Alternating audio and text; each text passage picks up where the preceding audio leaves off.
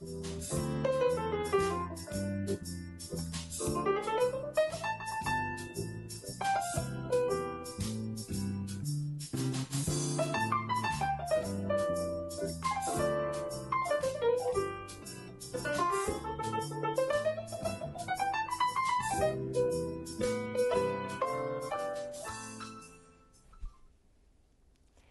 and welcome to Arts Alive.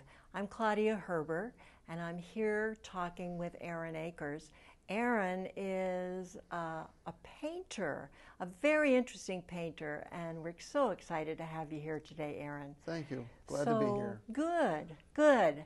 So I know a little bit about you. I know that uh, by day you're a plumber, and uh, by night you are a fabulous oil painter and instructor. Thank you. So let's talk about that. Great. Let's talk about this painting. Where Okay. does this all come from? Well, um, during COVID, my daughter had a youth group uh, that she was a part of, and they did a tutorial online.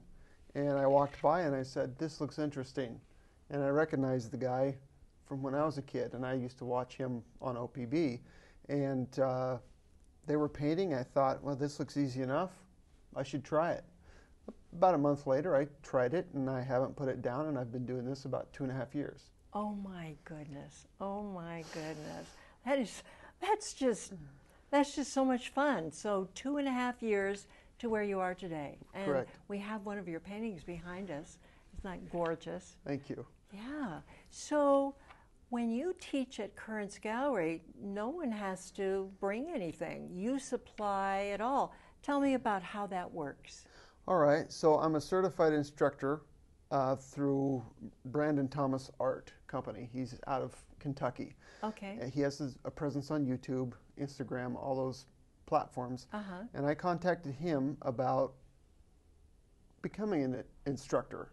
And he said, I need at least two years of experience. And at the time, I only had nine months. He said, Go ahead and send me some of your work.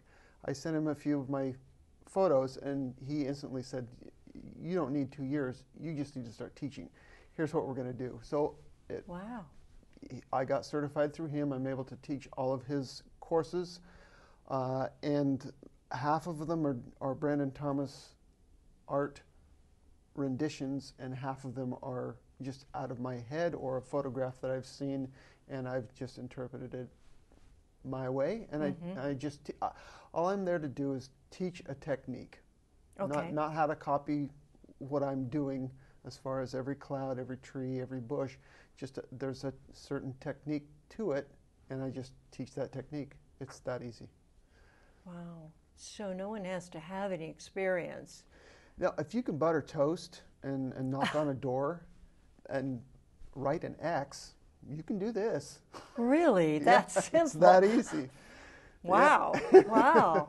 Well, with that, you've got to truly inspire the people who sit down with you. I hopefully I do. I have a few regulars that like to show up for class, Uh-huh. and they've really taken off with it. Mm-hmm. And uh, they're amazed at what they can do. I'm amazed at what they can do, and they they come away with a masterpiece, and they didn't know they had that hidden Oh. talent. That's beautiful. That's beautiful.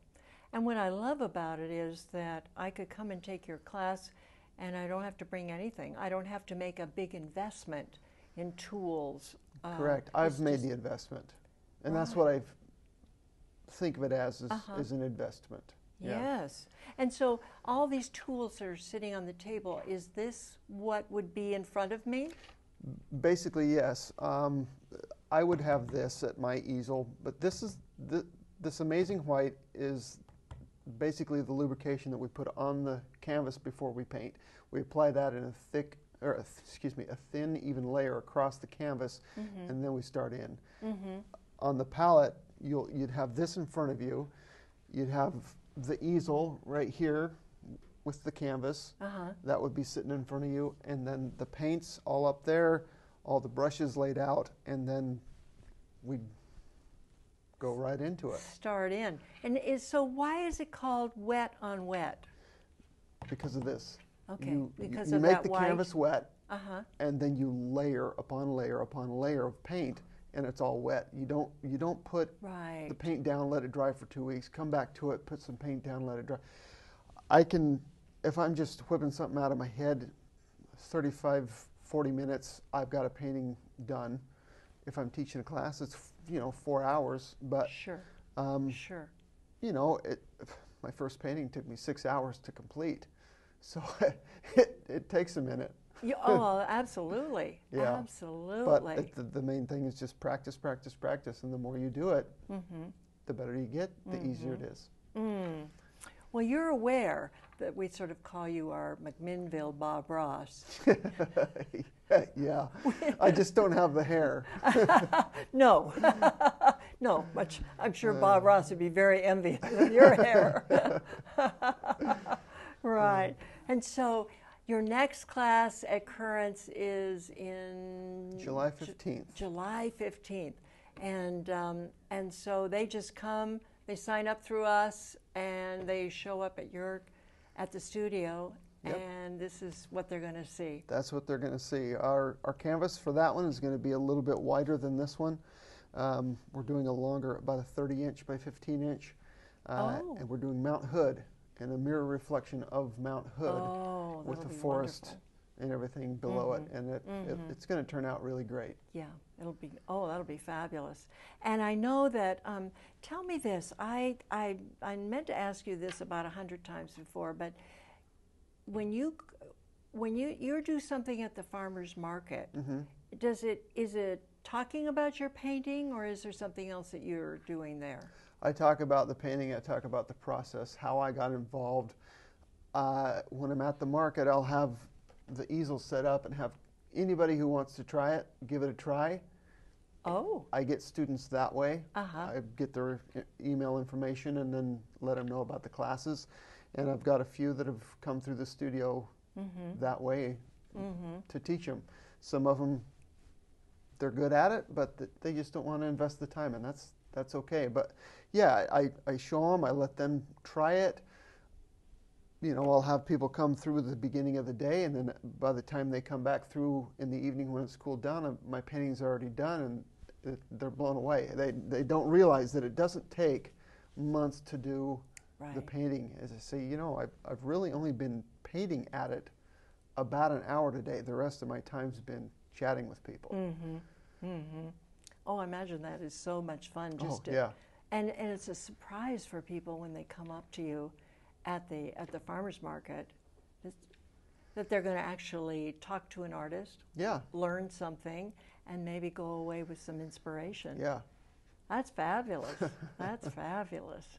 Well, once again, we're looking forward to having you in our backdoor studio for a long time. We're hoping that that could be a second home for you. Absolutely. That you know, this is my side hustle, so I'm, I'm not I'm not laying it down anytime soon. yeah. Oh yeah. Did we, we did we mention that your other artistry is in plumbing? Plumbing. I yeah, was that's going to say water, but itself. plumbing. Yes. Yeah. And so, do you see yourself ultimately, uh, maybe at a point, uh, putting down the wrenches and tools and playing with the brushes? Yeah, but this has to take care of all the bills before that happens, or I just need to retire, and that's at least 10 to 12 years out. So we've got some time. We've got some time.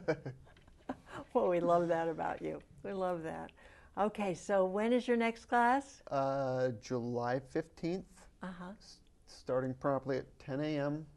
It runs from 10 a.m. to 3, and we have a, a break in the middle, and I do supply, you know, light snacks and, and drinks. You are the only kind and generous teacher that I know that does that for his students. and I've been there. I've been there kind of looking around, a little uh-huh. snack. Yeah. That's great. That's great. Okay, well, thank you so much. You're welcome. Thank Aaron, you, for chatting today. It was wonderful to speak with you, and I hope that everybody who is interested gets a chance to come by and see what you do. Fabulous. Yes, thank you. So thanks for coming to Arts Alive. I've been Claudia Herber and Aaron Akers. Thanks again. Thank you.